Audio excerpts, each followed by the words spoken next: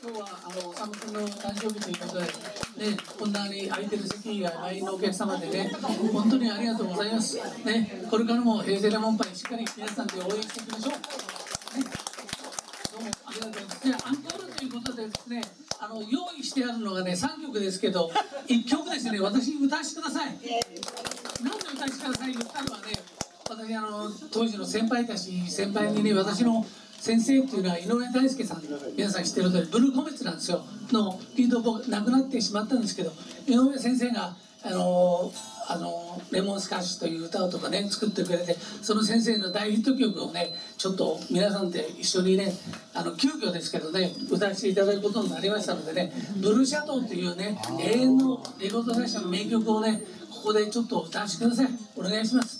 でそしてあとねレモンパイの皆さんであのホットスタッフとかね可愛い人よとか友達ぶりとかそういうのを続けてビーンとやっていきたいと思います。本当に今日はね皆様ありがとうございました。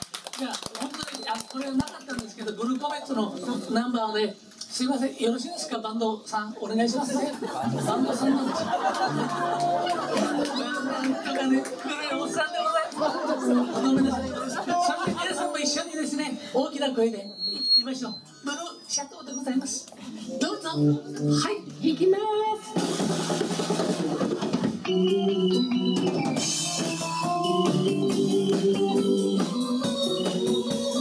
ちょっとはい。森とんかつ水にニンニクカこんにゃくまで天丼あばよ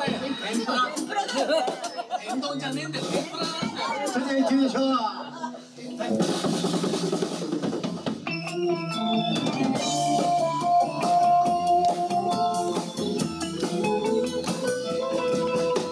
りとんかつ水にニンニクカこんにゃくまで天丼静かにあれ